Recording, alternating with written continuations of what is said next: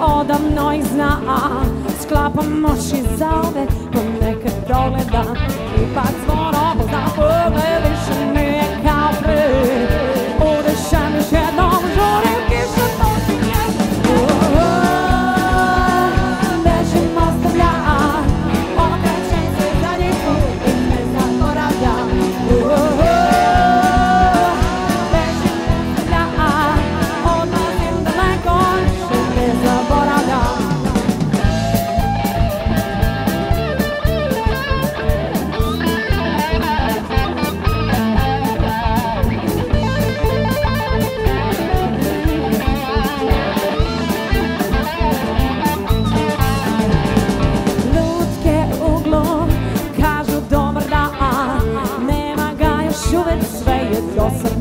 down.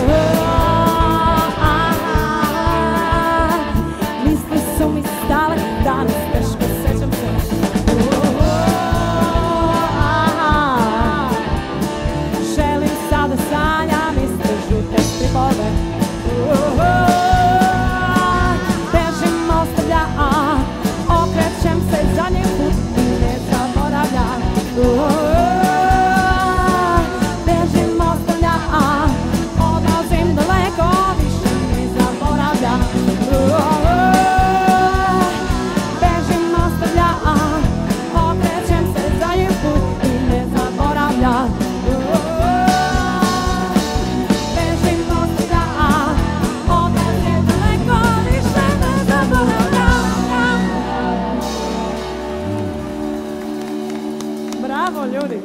Hvala.